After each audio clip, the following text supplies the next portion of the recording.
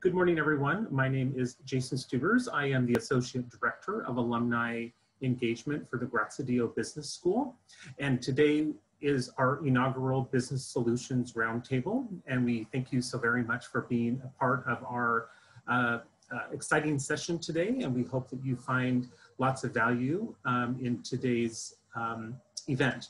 So at a high level, uh, the way today's event will flow is we will have our business challenge presentation along with uh, initial input from our expert panel. And then the full group will transition into three breakout rooms for um, additional solutions discussion. And then there will be breakout room uh, results presented by the facilitators. And then we will have uh, final expert panel solution thoughts um, and solutions for our presenter. And then we will do a brief closing that will be conducted by our Dean of Students and Alumni Affairs, Dr. Bernice Ledbetter. I'd like to first introduce our expert panel. Um, first off, we have Melva Benoy. Uh, she is the founder and president of the Marion Dupree Group. We have PGBS alumnus Quincy Newell, uh, who is the founder and CEO of 2114 Media and who is also a Graziadio board member. And we have expert panelist Ross Polak, who is Executive Vice President and Chief Human Resources Officer. Today's breakout room facilitators are from our Master of Science in Organization Development program, which I am also an alum of. We have Brooks Dara, um, who is the Chief Executive Officer and Organizational Effectiveness Consultant of Samsara Consulting Group. We have Sue Funkhauser, who is the director for the MSOD program operations, executive programs, and we have Daniel Schmitz, who is an organization design consultant with. I would like to introduce uh, our moderator today, Dr. Nelson Granados, who is associate professor of ISTM and is, who is also the executive director of the Institute for Entertainment, Media, Sports, and Culture at the Graziadio Business School. Business Challenger presenter today is current uh, EMBA student, Lexi St. John. Uh, she does graduate this coming December, so she's uh, very close to completing her degree program, and she is the Vice President of Content and Head of Global Networks at QYOU Media. At this time, I would like to turn it over to our moderator, Dr. Nelson Granados. Thanks a lot, Jason. Uh, okay, first thing I'd like to say is we have a tight uh, schedule because we're trying to present a business problem and solve it within an hour and a half. Imagine that. Uh, in any case, for those of you who are interested generally on how to break away from the vicious cycles of a new uh, company, a startup, a new venture, uh, or a small company in general, or whether you're interested uh, in the media entertainment sector uh, industry, where, which is what this case is about, was just generally speaking, how to solve a complex problem that has lots of uh, underlying issues and root causes. Uh, oops, sorry. This is, this is perfect for you. Uh, I would like to just give it now to Lexi, who's going to do a quick presentation on, on uh, QYOU Media and the problem they're facing and how you can help her and how we can all learn from this case. So let's do it. Thank you, Dr. Granados. Thank you, Jason, and everyone at Pepperdine to make this happen. And thank you to the EMBA students um, and everyone here, you know, part of the EMBA community. I, as an EMBA student about to graduate, I know how valuable feedback is from our peers and our cohort, especially inside or outside the industry. So I really do appreciate you attending and hopefully we can all learn something from this. So I'm gonna share my screen and get this presentation going. I know we've got a tight schedule. All right. So a little bit about Q Media. Um, Q Media um, makes products powered by the world's top digital influencers and creators. Um, we have a very multi-screen approach, uh, content curated for millennials and young Gen Z audiences around the world. And our products include television networks, um, shows, and influencer marketing campaigns. So just a brief um, company history. We launched in 2014 with an international channel that was a hosted MTV style channel. Um, we expanded globally uh, with content initiatives in India, Poland, the Philippines, Indonesia, and Malaysia. And we've built a very successful US based influencer marketing program here um, with some of the um, some of the campaigns below in the picture. Um, and so now, you know, our tentpole businesses are really the India television channel and the US based influencer marketing business. And so I'm here to really bring you into the world of the Q India um, and some of our problems associated with that. So the best introduction, I think, is the promo. Um, so here is our little promo. You are the best.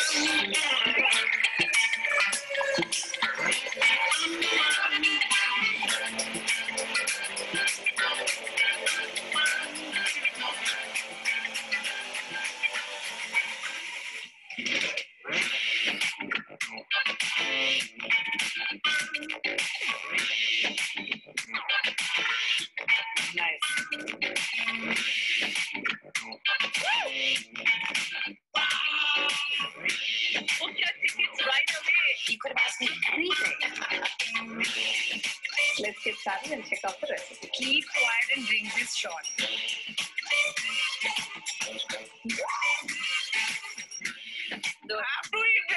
मुझे लगता है education वैसे ही important होती है Hi, I'm Malini Agarwal. I'm Samya Jani. Hello, friends. I'm Sandeep. And you're watching Q India's Creator Spotlight. Q India's Creator Spotlight. Ranked by Unglibaz पे सिर्फ तक QU India पर. Only on Q India. A big shout out to Q India. I keep coming back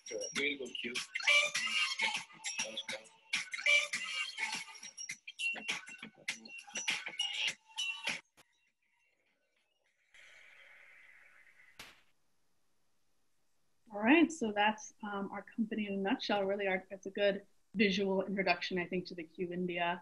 And as you can see, you know, we, we work with a lot of digital creators and a lot of um, in India. And even though we're, we're a small startup, we've got a lean and mean team, especially over there um, in Mumbai. We're able to do an incredible amount of things with just, you know, just in the first few years of, um, you know, our channel. So we launched November 2017 just on one distribution platform Tata Sky with only six shows. Um, and really, I just quickly wanted to give you a, a market industry um, context of, of, why India. You know, why did we decide to really expand there? I mean, the there's such a huge growing uh, media entertainment industries, particularly in the television sector.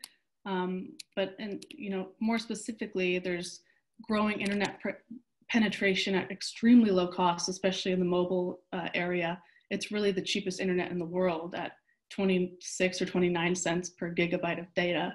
Um, you know, there's a lot of booming in the online video world, and we really saw the, the opportunity to take that digital media and merge it with the traditional um, television broadcast world. Um, there's really a white space for opportunity for us, um, not only with just what we were doing and adding value with digital to TV, but in that general space, there really wasn't um, a television network made just for the young audiences in India and what they wanted specifically in such a digital universe. Um, so that's a little bit of context. So a brief history of our first phase of the channel, really the first 12 to 18 months. We um, were really in the development phase, channel development, team maturity, um, you know, and really getting that strategy off the ground. So our main objective um, was really twofold. It was to develop relationships and strategic partnerships with, with top content partners. So identifying the top um, content producers and MCNs and digital creators that we could partner with and really launch our channel and grow together.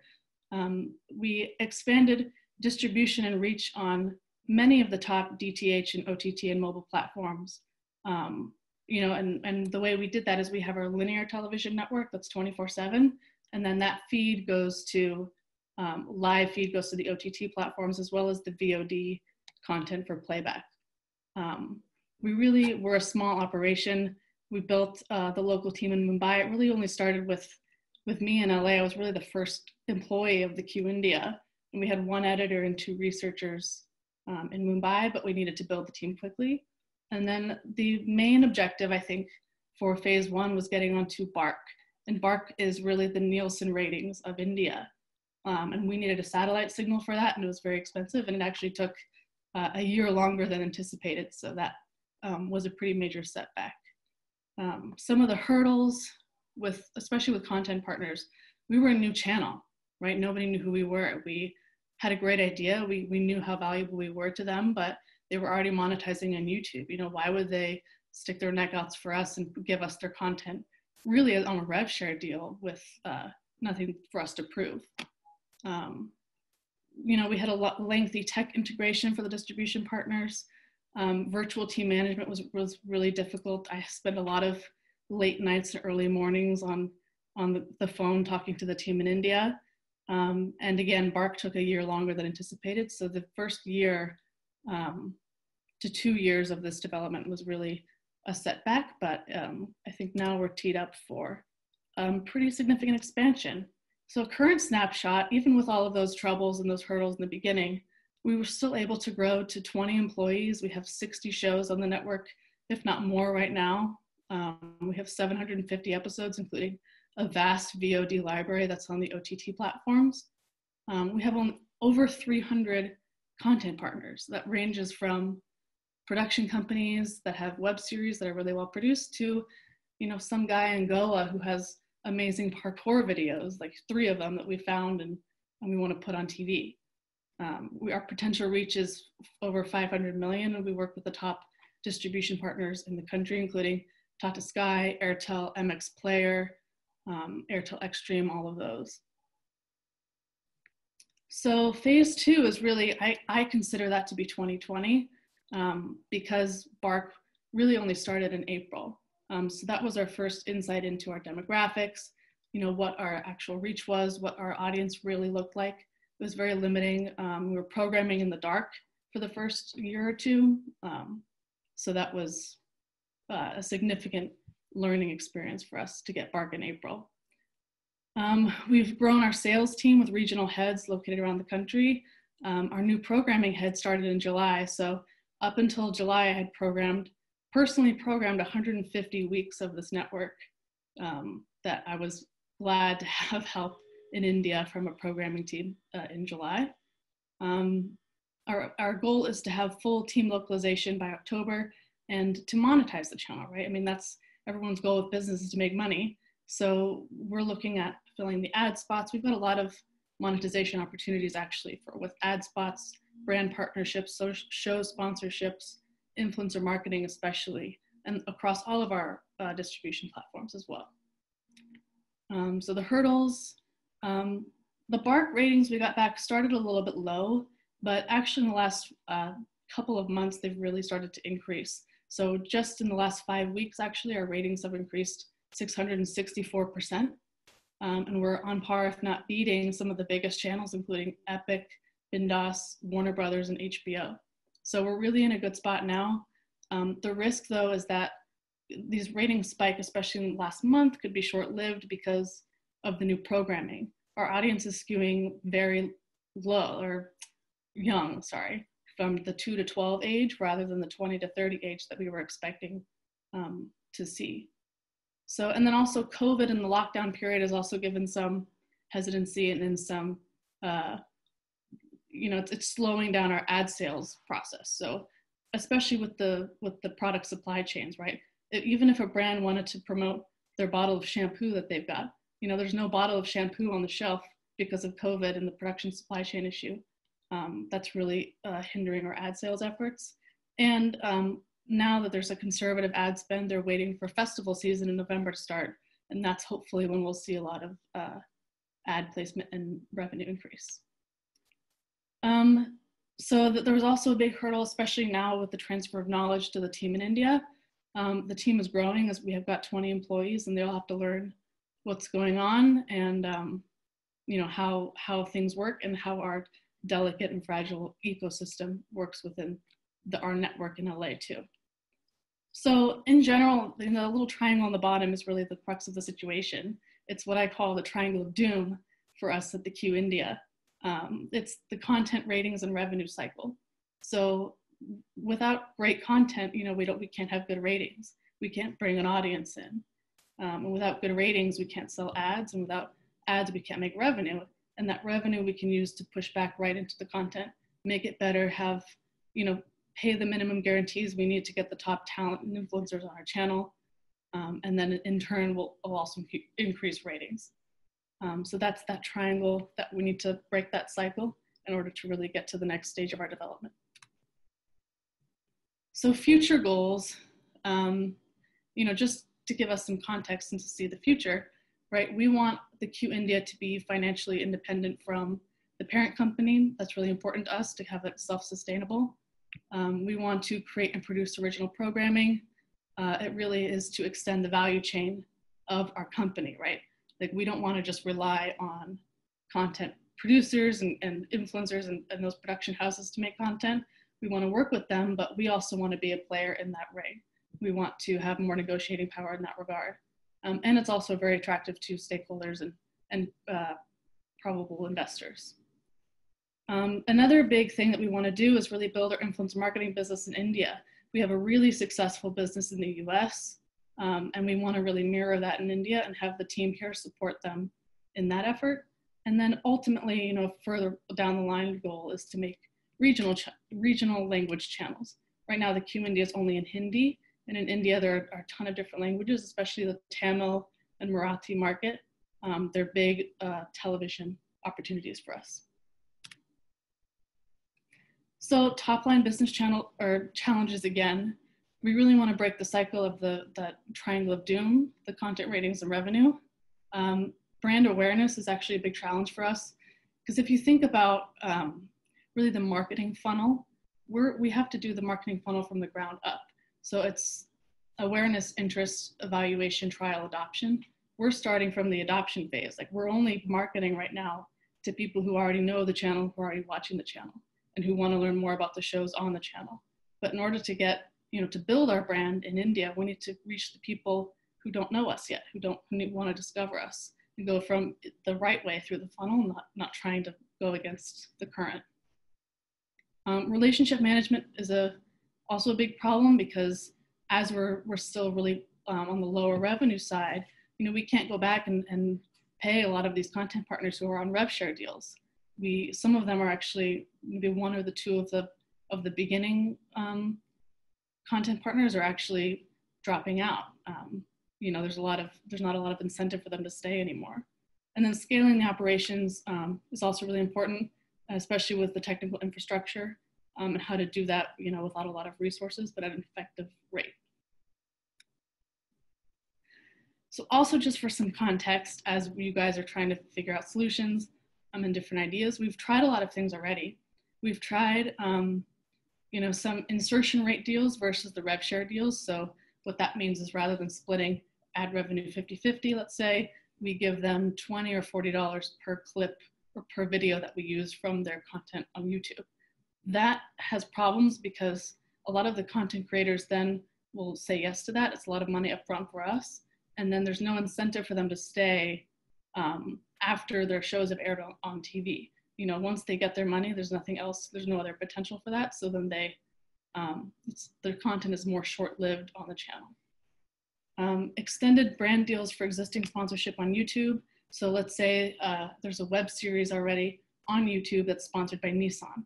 You know, we would go to them and, and try to extend that deal that they have with the brand already and bring it to our TV distribution.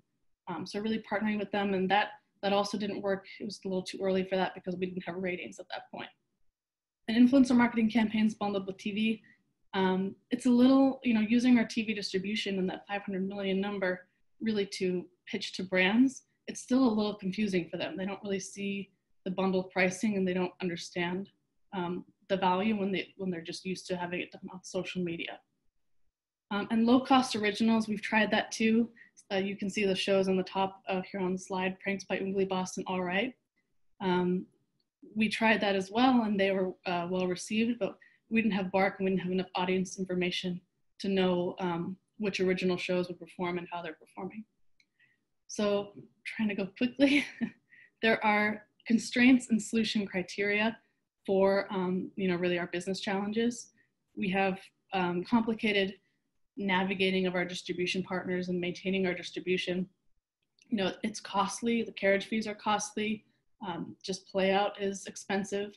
And, um, you know, we can ask them to promote our shows on their landing pages or on their Barker channels, but at the same time, you know, we need to make sure we prove to them that our channel is performing. Um, Um, broadcast censorship standards and practices. This has given me a lot of headaches over the years. Um, and the, the rules change for the broadcast industry all the time in India. Um, but that's something that we need to abide to. And that's something also that content partners um, sometimes are a little iffy of. You know, if, if there's a if there's a Pepsi logo in the background, we have to blur it. We have to mute all the swear words, and, and they feel like sometimes that degrades from the content, um, you know, standard on YouTube. Um, so that's also a hindrance. Minimum guarantees are expensive. You know, even if we've got talent in our shows who, um, you know, love that they're on TV, still costly to have them promote that on social media. Um, and then lastly, the, the, the channel genre must remain Hindi general entertainment channel. Um, we can't change it drastically to music, you know, or film. Um, so Alexi, you have about one more minute. Okay, faster. Root causes of key issues. Um, you know, funding, everything, all businesses need money. Uh, we need more of it. um, lack of ratings for the first two and a half years, we were programming in the dark.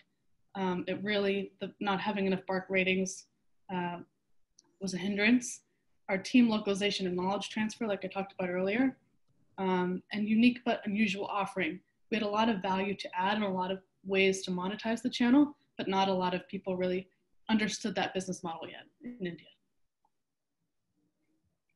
So today, um, I'm really hoping to find alternative solutions. I know we probably won't be able to solve all of our problems just today, um, but it, it will be helpful since I've been so in the weeds for, for years now and just understanding uh, good outside perspectives of these key issues is something that I'm looking for kind of as our, as our client of the um, Business Solutions Roundtable. So I thank you all for joining um, and I hope you all digested that in some way. Great.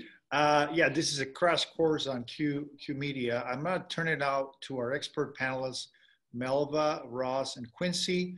Uh, and what I'd like you to do is um, share some insights, uh, insights about how you would go about uh, addressing uh, QYOU's challenges, uh, considering your experience. And if you can talk a little bit about how you can relate your first, um, your first, you know, guidelines relative to your experience, that'd be great. And if you have any questions for, uh, for Lexi, please go ahead. Uh, three minutes per, per panelist. Sorry, we, we got to go quick because we have to move on to the breakout rooms for solutions. There are some questions in the in the chat. I'll leave them. Uh, let me check and see how we can go about answering them um, in the process. So who wants to start? Quincy, or Ross? I can start. I have no issue with doing that. Thank you, Ross. Sure. Um, we'll try. Hey, Lexi. Um, so my background is I, I ran um, celestial pictures in Asia for uh, for three years, uh, including and opened up the Sony Pictures office in Mumbai. So I've, I have some experience in India. Um, Lionsgate, bringing it forward. Lionsgate has a business in India. It's it's um, our channel's business through Starz is growing pretty rapidly. Um, we're on subscription video on demand in, in, in, many of the countries in the region. Um, so, um, you know, India's, with all the, frankly, the challenges right now that countries, that companies are facing in China, I think a lot of multinationals and certainly in the TV and media business are focusing on, on India.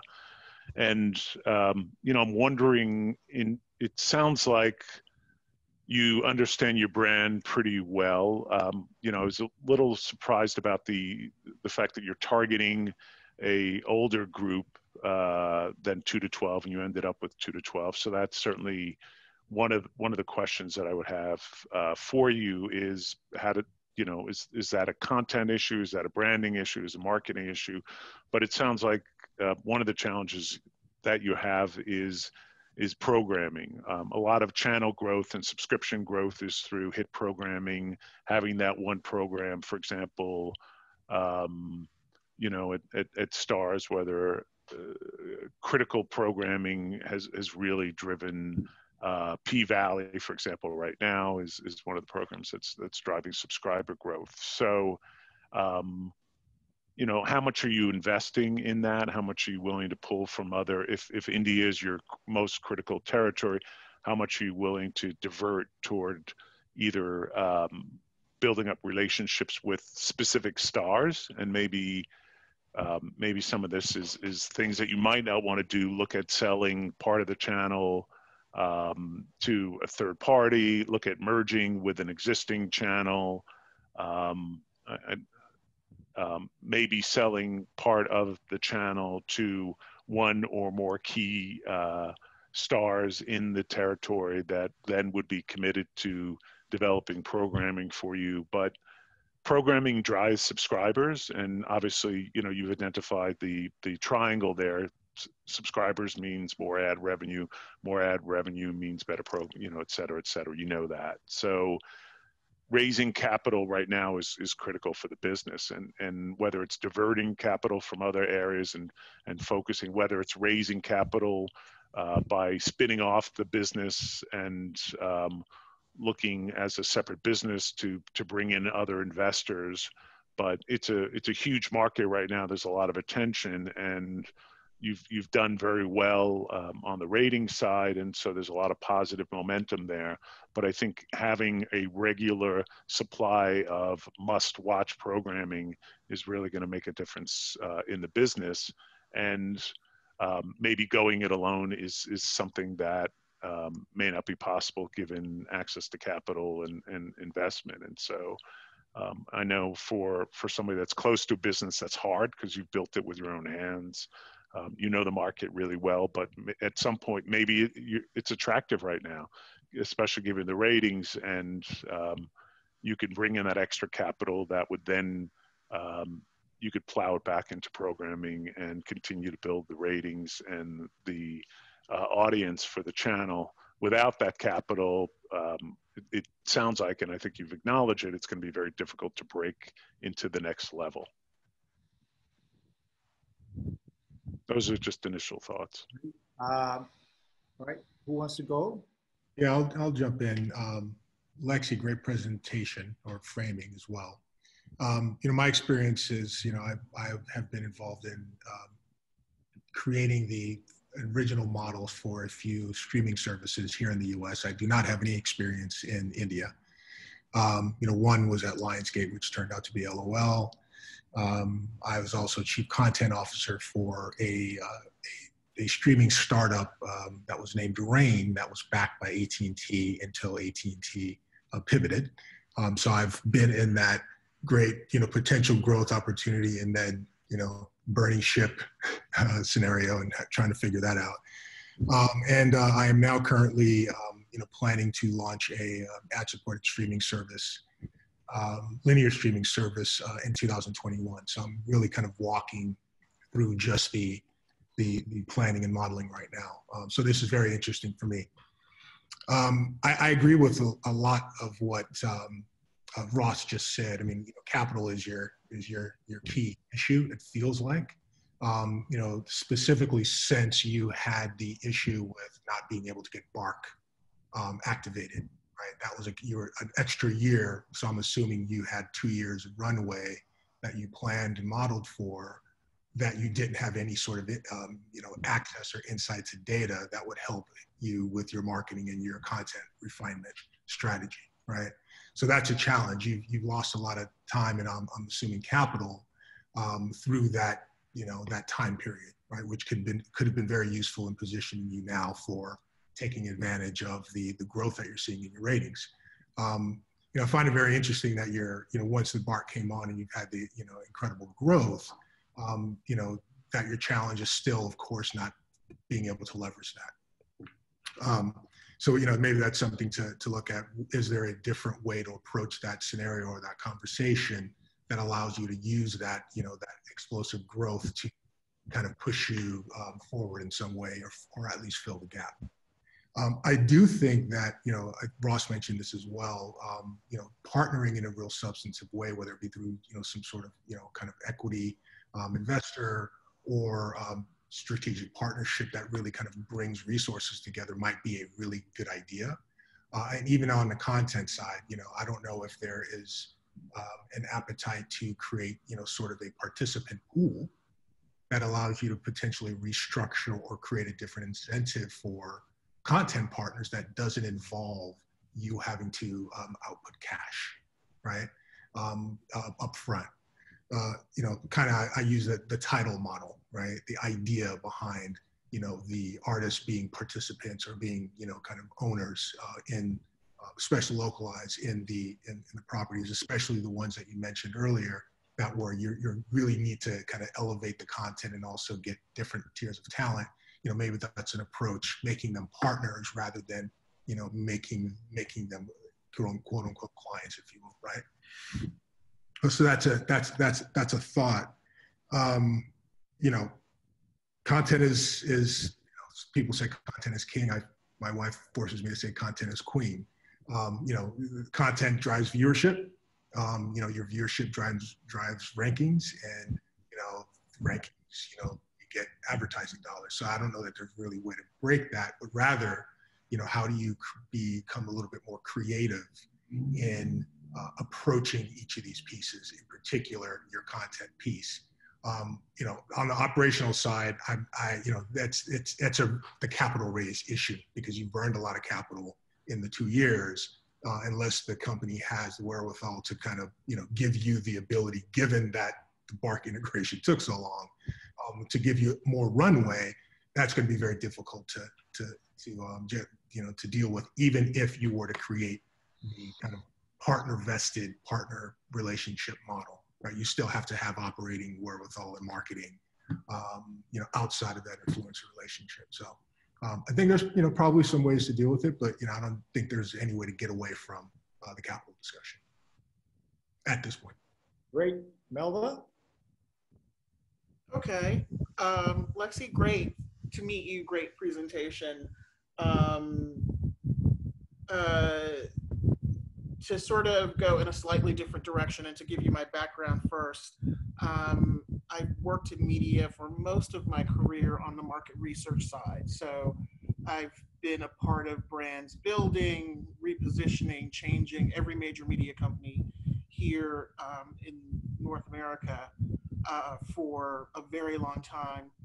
My experience with India came during my time at Fox, and um, I'm familiar with very late nights uh, a couple of years ago, basically trying to figure out how to leverage some of the things that I've built for market research in the US for Fox in the US for uh, our uh, uh, Star and the other channels that we had in India, and just for figuring out what do we do. Um, the other experience in, in, in international, and this reminds me of a couple of years ago, I had a client in the Philippines um, that had a very similar issue. They were bleeding, they were hemorrhaging money. Um, they were the fifth ranked network, um, and they were trying to figure out uh, how do we move forward. Uh, the same challenge with ratings. And once you get outside into another market, very different in terms of how the tools that you have. In the US, you have the ability to sell advertising without ratings and to make money without ratings. And one of the things that I tried to get them to look at, because they also had digital, they do have other numbers to sort of figure out metrics to sort of transact against. What's interesting, and we'll go into this further, is your target is youth. So what I'm not sure about while you're talking about your brand is how much you've talked to your audience, how much, you know, if you've done any sort of work around just in market talking to your audience what they have to say etc uh, it takes me back to the experience with the channel in the philippines where half of the employees had one view of the channel and the president of the channel had a different view which was completely a huge problem with brand alignment internally so first we had to solve for that. Then we had to look at the content that was available, which turned us towards sports in that issue in that market. But because we had digital and this massive digital presence, I was able to get them to think about there are other numbers to use to sort of get the marketplace to move around. And you have something pretty significant, pretty um, interesting in that it's young targeted, it's not traditional. So I don't know necessarily that I would take the more traditional routes that my colleagues are suggesting because those are the traditional ways to go after this. Um, it takes a while to build a brand, especially with young people. Um, and it takes a while to get to the point to you find the thing to go viral to sort of push you over the top. A hit is a hit is a hit, right? Um, but in this climate, we're having cha- we're having challenges with advertising across all markets. They're advertising very differently, and we're having other challenges with regard to fatigue and what people are willing to watch, right? So I'll stop there because we're on a tight time and uh, hand it back to you, Nelson, so we can keep Great. going. Thank you. Was just start you to type in uh, how the breakouts, breakouts are going to work. Uh, I'm going to be assigning topics based on each one of our expert uh, experts uh, background on what they said. So for the breakout number one, uh, which is going to be uh, where Melva is going to be, you're going to, what I'd like you to try to sway the conversations toward target market and ratings, which is one of your areas of expertise. You may be successful or not, depending on what people are interested there, but it'd be great to have some uh, advice for Lexi on that. For breakup number two uh, is going to be uh, Ross. Uh, he insisted quite a bit on, on the need for funding and capital. So I'd like breakout two, if you can, Ross, to sway the conversations towards that area. And then for Quincy, what I'd like you to focus on is since your wife says content is queen, you know, uh, try to focus the, uh, the, the, the, conversation on content. What kind of content should they be uh, focusing on? So I'll type it in, uh, but let's just go straight to the breakouts and I will see you. Let's see, right now it's 1207. We're way behind. So I will say 1235. Uh, that gives us about 27 minutes. We'll still be five minutes behind, so we'll have to rush a bit towards the end, but I think uh, 1235, let's all be back in the main room. Okay, great. All right, let's uh, move ahead then. We have, we're gonna have a three minute uh, uh, reporting out from each one of the uh, facilitators. So I would like to start with Sue Funkhauser from breakout room number two uh, with Ross. And the topic, let's find out if they were able to sway the conversation to uh, funding and capital. Okay, so I'm going to call on Robert actually, because he um, did the themes. And these are things, these are ideas. Hope, Robert, you don't mind me putting you on the spot. These are ideas to further investigate. That's how. Okay. Thanks, Robert. Three minutes, please. Hi, everyone. Um, yeah, so, I mean, any business it's tough to have capital and raising capital. So, um, having, you know, capital management is going to make or break any organization. So um, for us, we we kind of put together a um, share with you.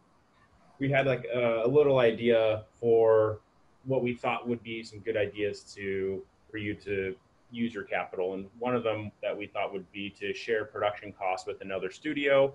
Um, you know, as far as your your hard costs for that to help better manage your capital, but as far as um, you know, funding, um, I would we kind of thought of the idea to use your existing partnerships that you have that are actually working in other regions to see if they would help fund further investment into India. Um, I think that's kind of going to be a good way to um, brand, have those brands branch into the other areas that you want to go to. Um, you know, uh, something that I was confused about at first was uh, if you're actually a traditional television studio or a um, internet entertainment company as well, and that's something um, maybe to consider uh, weighing out the costs of. You know, obviously you're starting up a new um, entertainment company, so uh, with the broadband uh, impact rate into India, I think it's important to try and weigh that out. Um, David, who else was also in, uh, on our group here uh, works in Philippines, and he was talking about how they basically jumped straight into kind of like YouTube style uh, entertainment companies and figuring out which one's actually a cheaper capital cost. But as far as fundraising, I would also look into government funding as well to see if there's any um, government funding to help a foreign entertainment company come in to help uh, build entertainment for them. Um, another one, I think the last one, I think that would be worth worthwhile to uh, to pursue is find a famous Bollywood actor um, that would want to help invest into this and use it as a uh, basically as a tax write-off to them. I think that's kind of a people do that all the time in America. Um, uh, like at, I, I worked at Sony and Steph Curry had his own production company there for a film. And I don't, I've never seen him there once or, or make a film. So, um, yeah, but that's all. Thank you, Robert. Could you just look at the chat quickly and if I haven't captured everything, just add the idea? Great. Yes, great idea. So let's go next with uh, with uh, Brooks in room one, and the topic uh, let's find out was uh, target market and uh, ratings. Um, so three minutes, please. Thank you. Okay. All right. I'm going to share my screen as well. Tell me if you can see this. Okay. So um, we were talking about target market and ratings, and we started with um, kind of the ideation on the left, and all of those came together around launching a robust research tool to really help um, the Q India focus in on the, their audience. And so we had some data, you know, the population in India, for example, and needing to target their audience, you know, with 13 to 30 being the current target, but not the current viewership. So we generated some questions. Those are the two stickies in blue. Um, so what prompted that surge in ratings um, and why? And what is the peak content? What are people gravitating to as far as the content is concerned? Um, and what is the motivation to really log in? So taking a deeper dive into that and again, who is watching? You know, are they from India? Are they male, female? Knowing their, we know their age, but want to know more about what is driving them to watch. So ultimately, we came around to um, these last couple of ideas to launch a brand tracker um, to really understand how your target audience feels about this brand versus your competitors um, and really try to diagnose the, the, the problem um, as to why you're not reaching your target market through your viewer.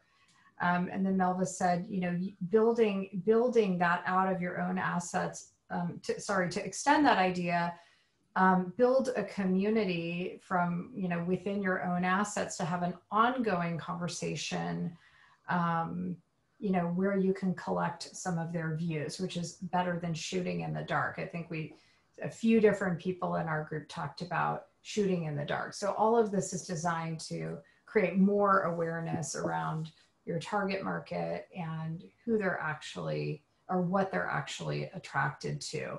And then I would ask anybody else in group one if you have something to add to, to further this. Okay, let's go to um, let's go to breakout number three with uh, Quincy, and then this will be Daniel as the facilitator. Yes. Okay. Thank you. Um, Quincy, uh, I think you can all see a table on your screen at this point. Quincy got us started off with a good steer, um, reframing or, or adding some depth to content as queen. So the question that the group was trying to solve was, how do we sustain relationships with content providers and also recruit and attract or attract larger value talent to drive the business.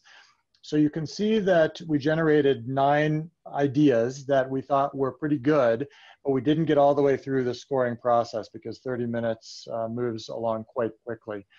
Um, where we did manage to start scoring, we, we were organized around items seven and eight. Um, seven is looking at, uh, well, actually both seven and eight are um, oriented toward a, a, central theme of restructuring, renegotiating, getting creative with incentives to keep talent, to keep key talent, and in some cases this might be key local talent, to stay with the um, to stay with the platform and defer immediate converse, uh, compensation for um, more significant rewards on the um, you know on the downstream side of, of the relationship. And we believe that um, that will that will drive longevity and commitment. So with that comment made i'm going to open it up to the members of team three for additional comments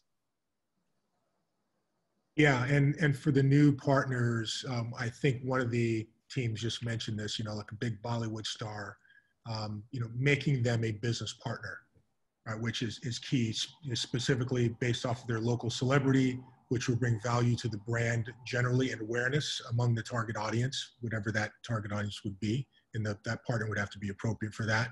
Um, but also making them from an Optus perspective, you know, however it's structured actually will be determined, but making them a business partner where they are a vested or at least perceived owner in Q India um, which then you leverage their celebrity as well as um, you know their ability to provide content and or some leverage in the marketplace.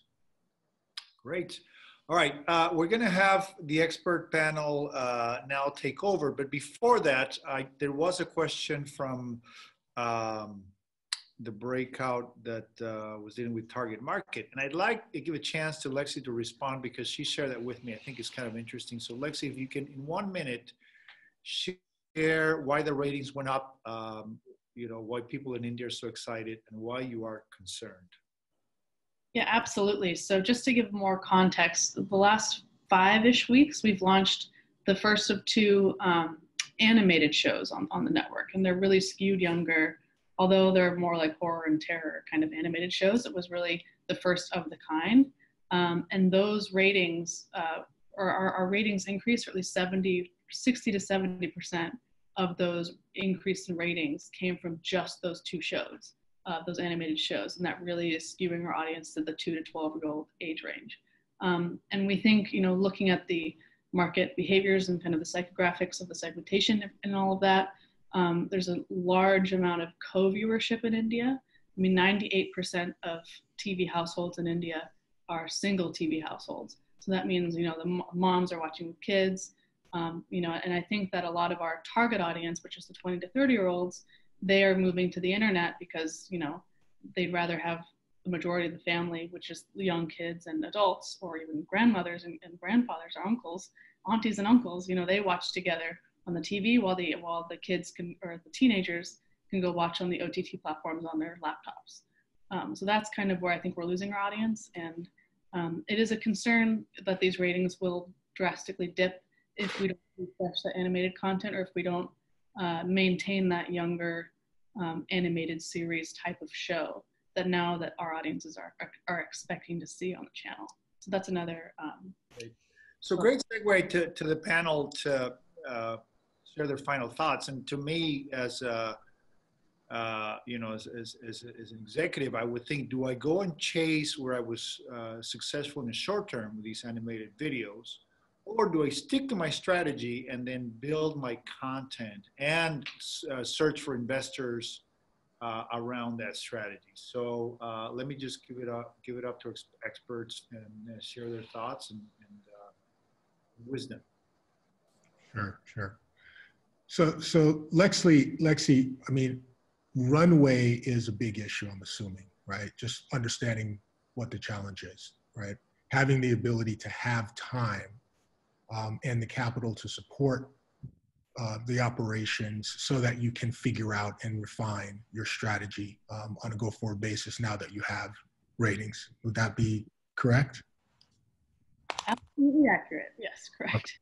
So, um, so you know, capital is key, clearly, right? So, you know, I think the capital strategies that are being put forth are, are things to consider, and also, you know, brainstorming around that idea um, the second piece seems to be, you know, maintaining the relationship that you have because you have what 300 plus content relationships. Um, you know, you have existing partners, but you also have a challenge getting new, bigger names. So there has to be some thought around number one, how do you maintain the current relationships that give you gives you some level of sustainability over a period of time. Uh, and in addition to that, what kind of value can you bring to the table that's um, an incentive or unique for a larger brand partner um, to become aligned with you um, with respect to you know creating credibility or further credibility in the market, but also open up opening up access to um, you know to viewers, um, whatever you determine ultimately your your target viewership is. And that's you know for me, I I kind of break it down to that brass tacks. You know, it's about money um, right now ultimately, um, and your ability to sustain over a period of time that allows you uh, the ability to navigate the market a little bit uh, further. I'll go. I'll go next. I it's. Uh, I thought that was extremely well uh, done, Quincy. No surprise, um, and and well thought out. Uh, and I'm I'm on the same page with you in in, in every single one of your recommendations. Um, I I think you know. In addition to capital and looking for partners, and whether those partners are multinationals or well-funded local Indian companies, uh, whether that involves looking at bring capital to the whole organization or spinning off the India operation, um, whether that involves um, forming partnerships with some superstar producers in India and giving up a piece of the business in order to get content in at a more affordable price and, and therefore conserving conserving capital. I, I, I, think that sometimes partnerships, and I, I, would like to believe that is the case in the Starz and Lionsgate partnership, um, which I think has been incredibly successful so far, and we've expanded in over 50 countries. I think that if, if you find the right partner, it's not about giving up, it's about one plus one potentially equaling three. And so, just in, in our own example, Lionsgate brings uh, you know real strong distribution chops and is a content producing company both on the TV side and the feature side. And Starz is extremely focused on black audiences and, and women, uh, particularly in the U.S. and then globally more broad, but is really good at distributing content. And so, partners, um, you know, in I would say in our case, is has been a real uh, synergistic exercise uh, with us bringing capital into Starz and increasing their production um, budget and them being able to grow the number of subscribers and generate more cash, which then gets poured into, um, you know, producing more content. I realize we're, uh, you know, the scale is obviously much larger, but I would say conceptually, it's it's it's similar um, but and and again, the rest of the pieces I, I think Quincy handled extremely well. I have nothing to add on to that. Great, thank you, Melva. Yeah, um, my my co-panelists are right. Uh, what I would ask is, uh, in the beginning, was the vision to make a youth-oriented channel? Yeah. Um, and so you achieved that, but then um, where do you think you went wrong given that they're not necessarily on TV? They're basically moving to other channels. And have you thought about, you know, I understand the animation and single chan, you know, single TV household, multi generation and a household animation usually is the thing that cuts through, and then next are soap operas. So I, I get that. But getting to young people, which is what you're thinking was the ad play, had you thought about a multi multi-platform strategy from jump?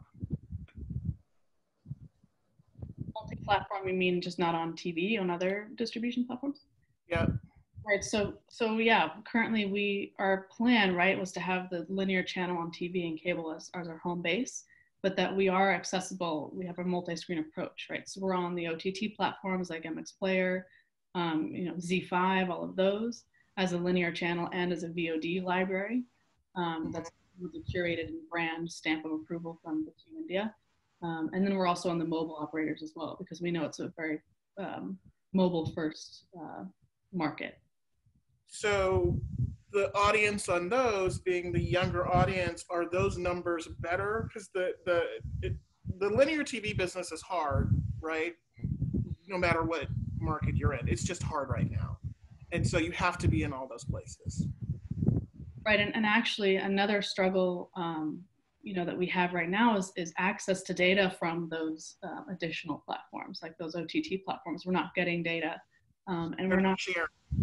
yeah so it is it's a little tricky. Our, our audience could look a lot different on those platforms and we just don't know. Um, but right now our focus is BARC just because that's our immediate monetization strategy. Um, but also we're, we're able to monetize on those other platforms with pre and mid-roll ads um, as well.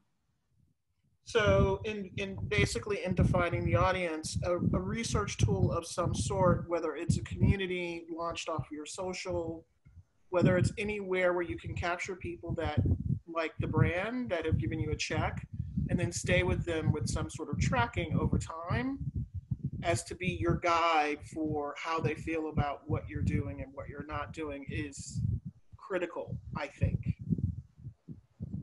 I agree, and I think one of our, um, you know, one of our mistakes, if there were, well, I mean, there are probably a lot, but one of the things that we I think lost sight of was our audience and really talking to them, especially as we're building, you know, brick by brick distribution, you know, getting everything built and ready. You know, we we kept on a third party level rather than really looking at our actual consumer. Um, so it's really just Yeah. re- we didn't want to also make assumptions about them too, um, and we didn't have a lot of. I mean, it was, it was me from Sherman Oaks, you know, in LA, programming this channel in India. And yeah, I can learn as much as I can, but I'm not the person to be doing that. So the faster we could get operations to India, I think the better we'll, we'll be in the long run. But there is um, there is a way to sort of turn that around. Um, if you think about I want my MTV and the mistake of Quibi, Quibi chose not to talk to the consumer and they built for the advertiser and they made a mistake.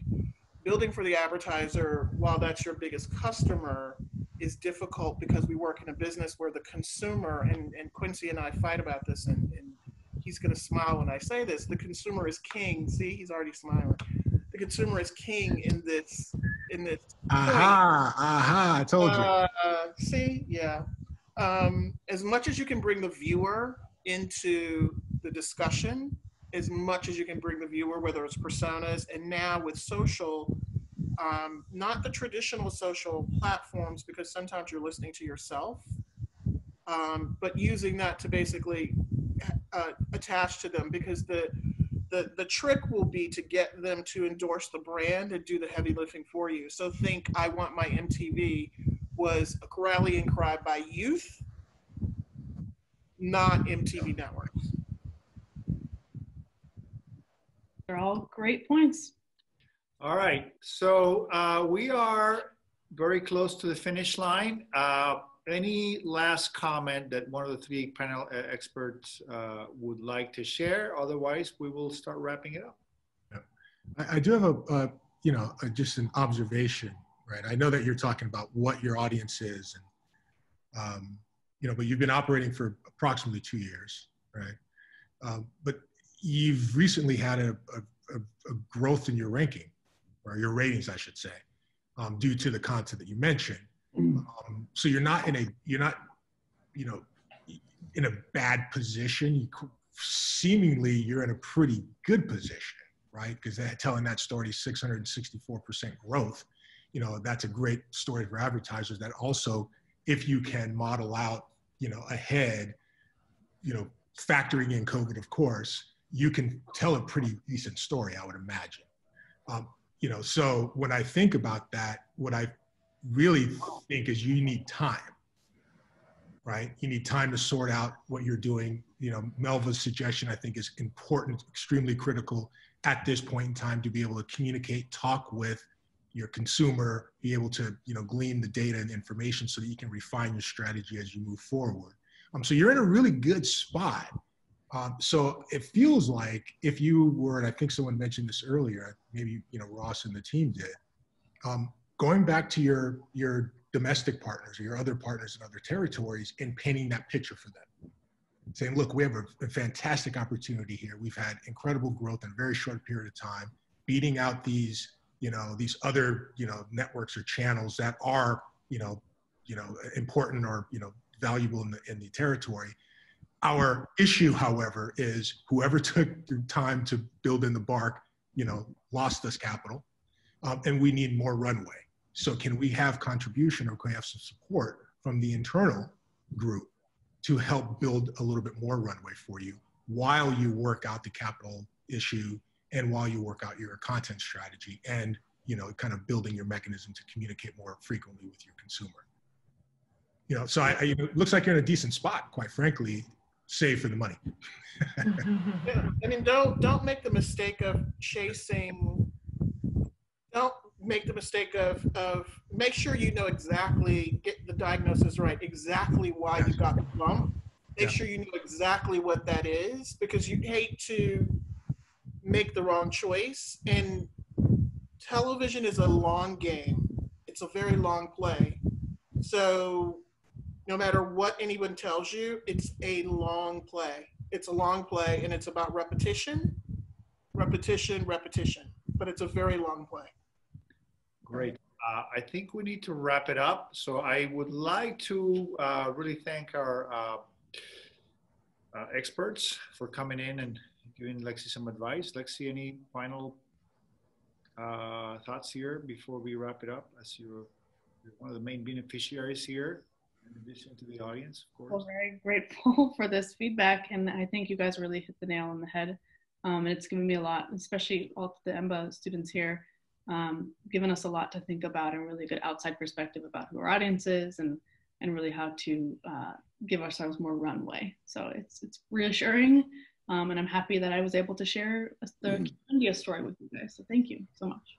Great. I enjoyed it tremendously. Uh, so thank you also. And I'll pass it on to Jason to wrap it up.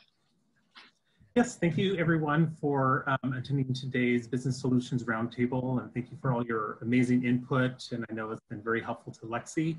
And again, thank you to all of our um, panelists and facilitator. At this point, I'd like to turn over to Dr. Dean Bernice Ledbetter for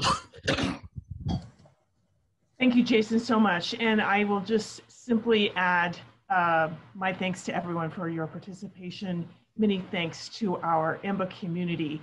This roundtable, this Business Solutions Roundtable, came out of a desire to be a resource to business during this unique time in history. We came together and decided we can put together a forum to create business solutions. And so thank you for being part of this inaugural event.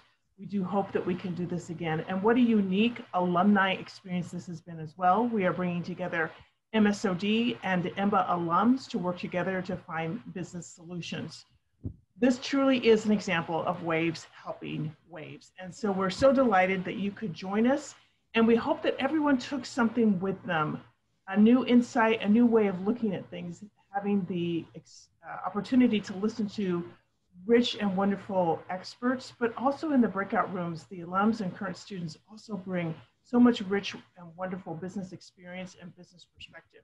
And so what a great combination to come together today to spend this time thinking through a very unique, uh, in some ways, and, and at the same time, uh, probably some common challenges that many businesses face. So thank you again, everyone, for being here. It's been a thrill to be together. And I think this brings our time together to a conclusion. So we wish you well, and we hope that you will join us again sometime soon in the future. Thank you so much.